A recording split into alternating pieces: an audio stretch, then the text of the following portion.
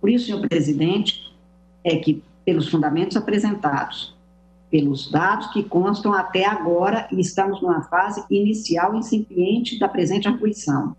concluo presentes na espécie os requisitos para o deferimento de medida cautelar nos seguintes termos, que é o meu voto. Para deferir a medida cautelar para suspender todo e qualquer ato do Ministério da Justiça e Segurança Pública de produção ou compartilhamento de informações sobre a vida pessoal, escolhas pessoais e políticas, práticas cívicas dos cidadãos, servidores públicos, federais, estaduais, municipais, identificados como integrantes de movimento, do movimento político antifascista,